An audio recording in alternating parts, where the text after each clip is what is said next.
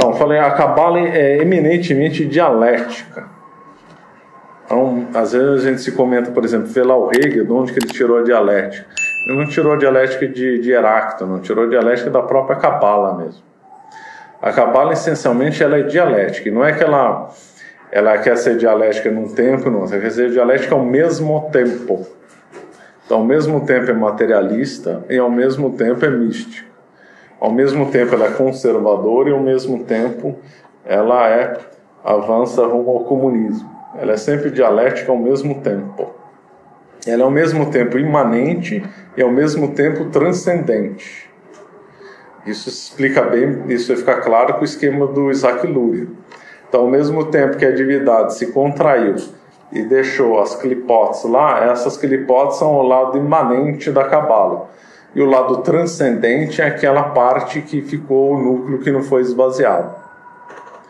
Tem um autor agora que não vou saber dizer quem explicou, mas com base no racidismo, ele cunhou um termo diferente, que segundo ele seria insuficiente dizer para Cabala e para um momento racidista, é, nem, não é nem panteísmo e nem gnose, mas sim os dois ao mesmo tempo. Então ele cunhou o termo panenteísmo, que é os dois ao mesmo tempo.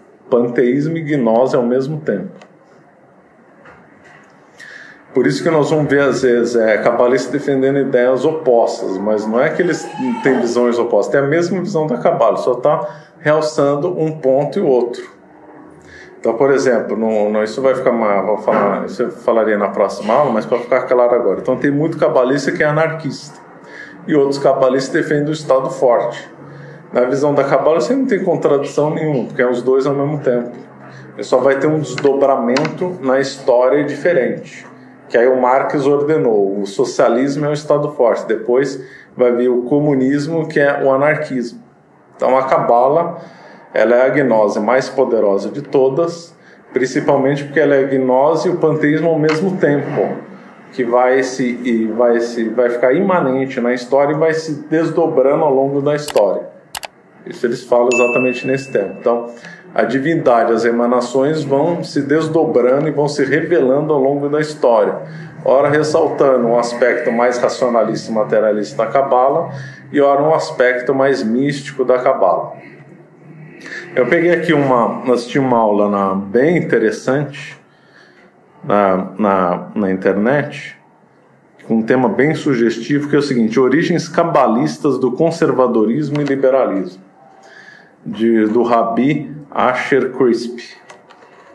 Então, aí ele comenta a visão liberal no, é, no sentido americano e conservador no sentido americano. Seria equivalente, a grosso modo, nossa direita e esquerda.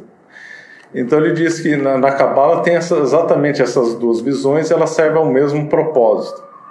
Então, na visão, o, o Asher Crisp é, mostrando, então, os conservadores são aqueles que olham para trás.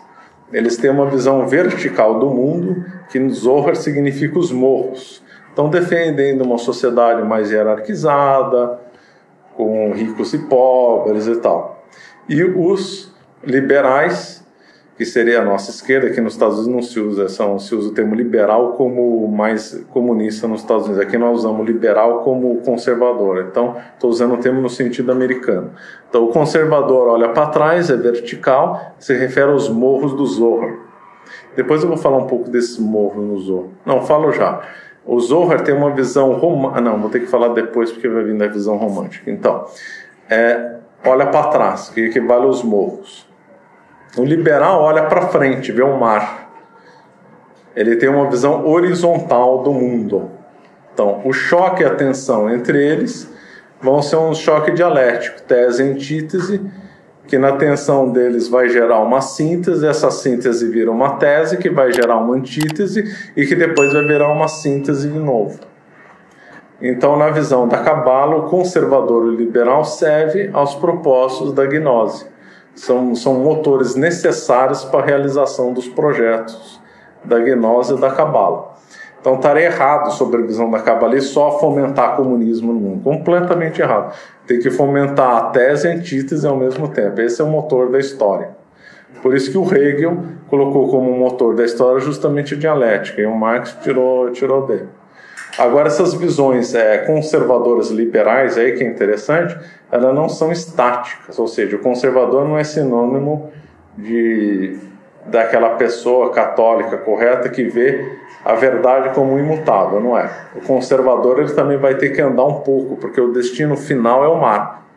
Então ele só serve como retardo na corrupção total da Ticum, que eu vou comentar depois daqui a pouco. Marcelo, você põe, por favor, também na bibliografia, essa aula aqui? Põe, põe, sim. Aula bem interessante. Então, então, o conservador é hoje muito conservador. Aí daqui 10 anos ele já fica mais liberal e o liberal ficou mais liberal ainda. Aí fica a roda voltando.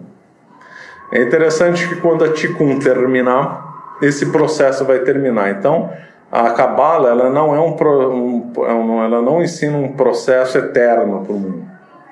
Não é uma coisa eterna como, por exemplo, o mito da mitos orientais, mitos de um, de um panteísmo mais burro, mito de um, do taoísmo que vê uma, uma eternidade nos ciclos. Não, o ciclo, uma hora vai terminar com a vinda do Messias, já preparada pelo homem, né? porque o homem é redentor de si mesmo, e o Messias apenas vai coroar a obra humana, e aí vai terminar, e essa chave é chamada de fim da história. Então, quando qualquer um aí vê o termo fim de história por algum pensador, esse pensador sabe bastante. Porque ele está usando um termo cabalista aí no fim do processo histórico, fim da Tikkun. Então, toda a atuação da Cabala, então, eles entendem, o mundo é um processo dialético, e agora nós estamos na fase da Tikkun, que é a fase da, da restauração. E essa fase da restauração tem que envolver alta corrupção do mundo para preparar a vinda do Messias. Certo? Está claro até aqui?